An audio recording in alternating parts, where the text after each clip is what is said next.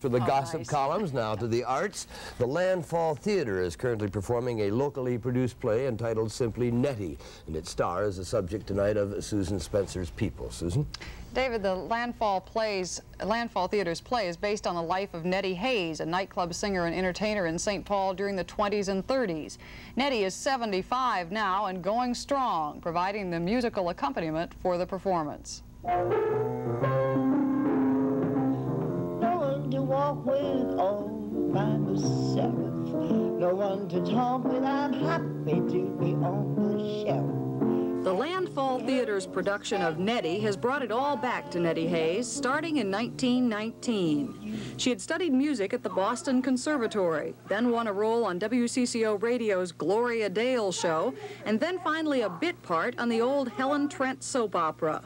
On live radio, a teenage Nettie what I heard Hayes didn't always behave like white writers thought black folk should. What is it you've heard? That he told you to make a choice. Either his love or your career. Busy body, excuse me, but could you move your feet? My goodness, what size shoe do you wear? Woo! Helen, you got what some do you big call feet, In 1928, Nettie Hayes hit Broadway, and for two years she shared billing with Louis Armstrong and Fats Waller. But looking back at her career, that isn't what she talks about. Rather, it's the time she spent in St. Paul, then a gangster haven that made Broadway look tame. For 10 years she played in clubs here, chiefly in a rib house and casino called Than's on Jackson Street. For a broke young girl who'd previously only sung in church, working with Than during the gangster days was a real eye-opener. He'd go to the phone when it was kind of, was kind of slow and call up the jail and say, let them all come on down. I say, come on down. That's where I met Babyface. Babyface Nelson.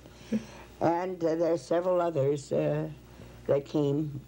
But whenever they came, Dillinger and all the rest of them, you know. I You knew those people? Oh, yes. I knew I wish I had a penny for every dollar that you'd given me. Well, he was cold and ruthless. He could shake hands with one and blow your brains out with the next and, you know, uh, never even crack a smile or bat an eye. You know, he was that ruthless. You were a young girl then, didn't Oh, that yeah, frighten quite you? Young. No, no, frighten me. For what? I- Nettie Hayes at 75 is still as gutsy as ever, though life has turned oh, less and I glamorous. She lives now in a modest Bloomington apartment with her three adopted kids, her babies, she calls them. She supports herself by some singing, day work, now the play, and retirement is the furthest thing from her mind. I'll retire when they put me out there in that six foot aside. I, I have no reason to retire, you know. There's nothing that will put you, Susan, in the grave as quick as a rocking chair. Now you go over there and sit out in a rocking chair. You don't have anything to do. You know what you're doing? You're waiting for death to come. Heaven's my home and I ain't homesick. I don't say out late, don't care to go. I'm home about eight, me and my radio. I ain't misbehaving, my love for you. Just you. I'm saving, saving my love for you.